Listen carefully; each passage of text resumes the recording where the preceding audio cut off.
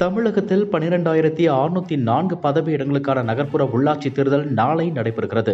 நகர்ப்புற உள்ளாட்சி தேர்தலுக்கான இறுதிக்கட்ட பிரச்சாரத்தில் அனல் பறந்த நிலையில் நேற்று மாலையுடன் ஓய்ந்தது இன்று வீடு வீடாக சென்று பூத் ஸ்லிப் வழங்குவதில் எந்த தடையும் இல்லை என்றும் அதே வேளையில் பூத் ஸ்லிப் என்ற பெயரில் பிரச்சாரத்தில் ஈடுபட்டால் கடும் நடவடிக்கை எடுக்கப்படும் என்று தேர்தல் ஆணையம் எச்சரிக்கை விடுத்துள்ளது.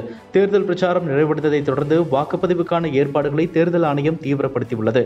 நாளை காலை ஏழு மணிக்கு வாக்குப்பதிவு தொடங்குகிறது. மாலை ஆறு மணி வரை வாக்குப்பதிவு நடைபெறுகிறது. கோவை துடியலூர் பகுதி வெள்ளக்கிணறில் இரண்டாவது வார்டு பாஜக வேட்பாளர் வத்சலாவை ஆதரித்து பாஜக மாநில தலைவர் அண்ணாமலை பிரச்சாரம் மேற்கொண்டார். பிரச்சாரத்தின் போது மக்களிடம் பேசிய அவர் மத்திய அரசின் திட்டங்கள் தங்கள் பகுதிக்கு வர வேண்டும் என்றால் பாஜக வெற்றி பெற செய்ய வேண்டும் என தெரிவித்தார். பட்ஜெட்டில் பணம் ஒதுக்காமலும் அரசாணை இல்லாமலும் முதல்வர் பல்வேறு வாக்குறுதிகளை அளித்து வருவதாகவும் தெரிவித்தார். கரூர் மாவட்டத்திலிருந்து திமுக குழு ஒன்று கோவைக்கு வந்து கொலுசுகளை வழங்கி வருவதாக தெரிவித்தார். அந்த கொலுசை ஆய்வு செய்தபோது அதில் பதினாறு சதவீதம் தான் வெள்ளி உள்ளதாக தெரிவித்தார். சட்டமன்ற தேர்தலின் போது எப்படி காதில் பூ சுற்றினார்களோ அதே போன்று தற்பொழுது வந்துள்ளதாக மல்லிகை பூவை காண்பித்தார். அதே போன்று இப்பகுதிக்கு அனைத்து வீடுகளுக்கும் குடிநீர் வசதி வேண்டும் என்றால் அதற்கு இங்கு பாஜக நிர்வாகி இருந்தால்தான் முடியும் எனவும் மத்திய அரசின் திட்டங்களை எங்கு செயல்படுத்தவும் பாஜக நிர்வாகி வேண்டும் எனவும் தெரிவித்தார். மேலும் பிரதமர் முன்கள பணியாளர்களின் காலில் விழுந்து வணங்குபவர் எனவும் கோவில்களை காக்க பல்வேறு போராட்டங்களை முன்னெடுத்தது பாஜக எனவும் ஆகவே பாஜகவிற்கு வாக்களித்து வெற்றி பெற செய்ய வேண்டும் என கேட்டுக்கொண்டார். உத்தரப்பிரதேச மாநிலம் குஷிநகர் மாவட்டம் நிபுவா நௌரங்கியா என்ற கிராமத்தில் இரவு நேரத்தில் நடந்த திருமண வரவேற்பு நிகழ்ச்சியின் போது திருமணத்திற்கு வந்திருந்த பெண்கள் வீட்டிற்கு பின்னால் இருந்த இரும்பு வளையாலான கான்கிரீட்டால் மூடப்பட்டிருந்த கிணற்றின் மேல் நின்று பேசிக் கொண்டிருந்தனர். ஏறக்குறைய இருபத்தி இரண்டுக்கும் மேற்பட்ட பெண்கள் மற்றும் சிறுமிகள் அந்த கிணற்றின் மீது நின்று பேசிக் கொண்டிருந்த போது பாரம் தாங்காமல் கிணற்றின் மேல் தளம் திடீரென இடிந்து விழுந்தது. இதனால் கிணற்றின் மேல் நின்று கொண்டிருந்த பெண்கள் ஆழமான கிணற்றுக்குள் விழுந்தனர். கிணற்றுக்குள் விழுந்ததில் சிறுமிகள் உட்பட பதிமூன்று பெண்கள் உயிரிழந்தனர்.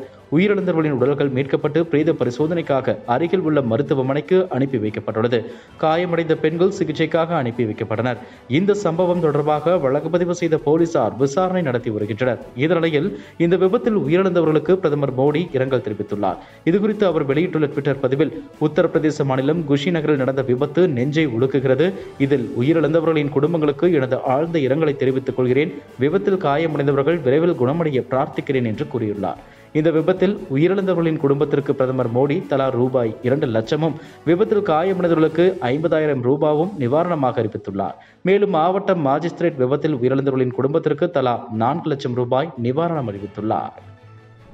திருவள்ளூர் ஊத்துக்கோட்டை அருகே உள்ள வெள்ளாத்துக்கோட்டையில் ஆசிரமம் நடத்தி வருபவர் முனுசாமி. இவர் சிறப்பு பூஜைகளும் பல்வேறு நோய்களுக்கு சிகிச்சையும் அளித்து வருகிறார்.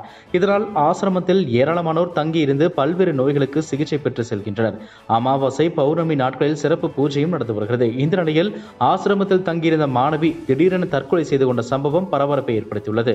வெங்கல் அருகே உள்ள செம்பேடு கிராமத்தை சேர்ந்த ராதாகிருஷ்ணன் இவரது மகள்கள் மகேஸ்வரி மற்றும் ஹேமமாலினி. ஹேமமாலினி தொழுவூரில் உள்ள தனியார் கல்லூரியில் பிஎஸ்சி கம்ப்யூட்டர் சயின்ஸ் இரண்டாம் ஆண்டு படித்து வருகிறார்.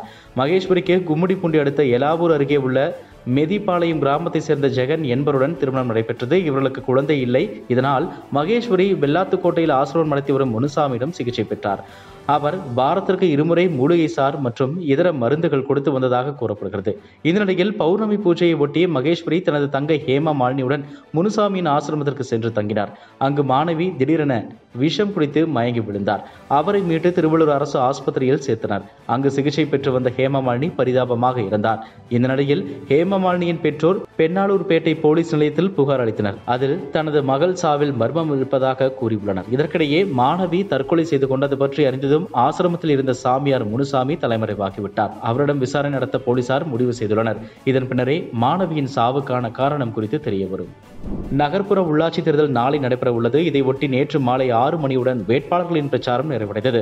கடைசி நாளில் கோவையில் அரசியல் கட்சியினர் தீவிர வாக்கு சேகரிப்பில் ஈடுபட்டனர். இதன் ஒரு பகுதியாக திமுக வேட்பாளர்கள் தங்களின் வார்டுகளில் வாகன பேரணியை நடத்தினர். அப்போது நெகுயிடா ஸ்டெஃபன் மரிஸ் என்ற ருமேனிய நாட்டை சேர்ந்த நபர் திமுக கொடியுடன் பிரச்சாரத்தில் ஈடுபட்டது. அனைவரின் கவனத்தையும் ஈர்த்தது.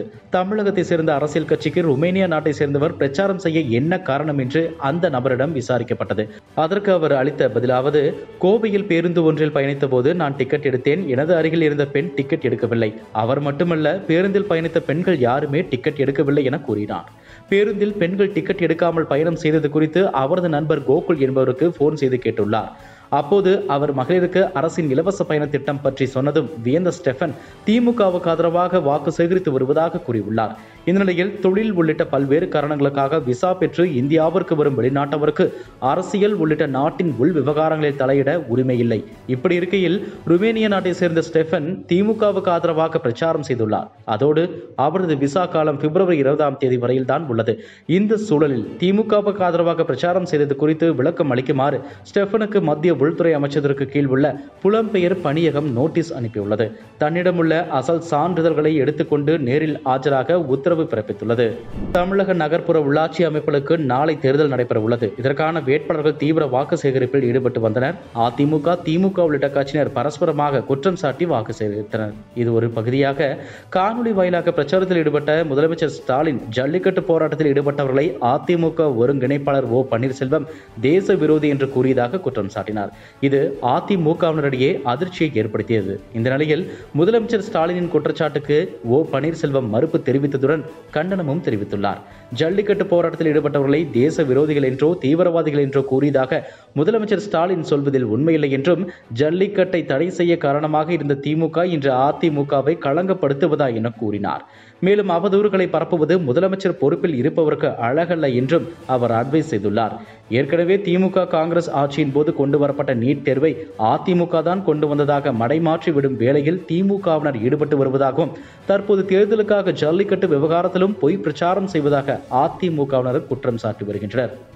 ஆந்திர மாநிலம் விஜயவாடாவில் உள்ள லயோலா கல்லூரியில் ஹிஜாப் அணிந்து வந்த மாணவிகள் வகுப்புகளுக்கு செல்ல அனுமதி மறுக்கப்பட்டது. ஹிஜாபை அகற்றிவிட்டு வந்தால் மட்டுமே வகுப்புகளுக்கு செல்ல வேண்டும் என்று கல்லூரி நிர்வாகம் கூறிவிட்டது. இதனால் மாணவிகள் கல்லூரி எதிரில் போராட்டம் நடத்தினர். தகவல் அறிந்து அங்கு வந்த இஸ்லாமியர்கள் கல்லூரி நிர்வாகத்துடன் கடும் வாக்குவாதத்தில் ஈடுபட்டனர். முதலாவது ஆண்டு முதல் ஹிஜாப் அணிந்து வரும் எங்கள் குழந்தைகளை கல்லூரி நிர்வாகம் திடீரென்று ஹிஜாப் அணியக்கூடாது என்று கூறுவது ஏன் என்று எங்களுக்கு புரியவில்லை என்று அவர்கள் கூறினர். இந்த நிலையில் தகவல் அறிந்து அங்கு வந்த போலீசார் கல்லூரி நிர்வாகத்திடம் பேச்சுவார்த்தை நடத்தினர். இதனால் ஆந்திரம் முழுவதும் மாணவ மாணவர்களிடையே பெரும் பரபரப்பு ஏற்பட்டுள்ளது. கர்நாடகாவில் இந்த விவகாரம் பெரும் சர்ச்சையான நிலையில் ஆந்திர மாநிலம் முழுவதும் பரவாமல் தடுக்கும் முயற்சியில் ஆந்திர மாநில கல்வித்துறை அதிகாரிகள் மற்றும் போலீசார் தீவிரமாக ஈடுபட்டு வருகின்றனர்.